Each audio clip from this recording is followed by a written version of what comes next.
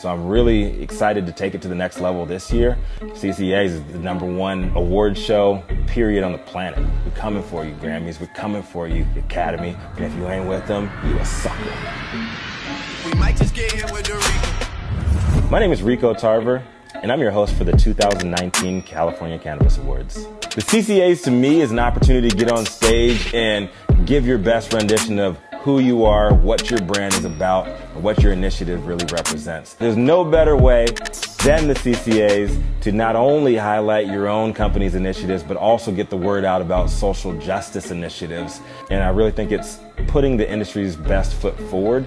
You're not going to do it We might just get any better than the CCAs. Scene two, take one.